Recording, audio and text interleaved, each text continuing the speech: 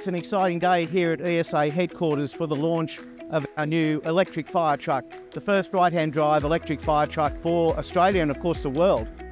What you see behind me is a bold and brave step forward in providing solutions and making a contribution to defeating the challenge that climate change is presenting to us. It's got about two hours general duty driving on the battery. Then the range extender kicks in. It takes about two hours to charge it while the range extender is going. When we first looked at this vehicle, we compared its capabilities to our busiest pumper in our fleet. From that data, we estimated that it would only need the range extender twice in a year. Everything is keyed up for the safety of the firefighters and the community we serve.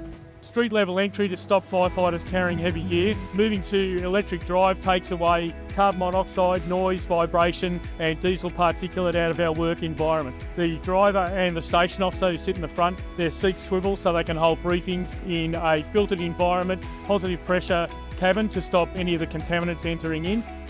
It's a really great example of how we can go forward looking at our zero emission strategy as well.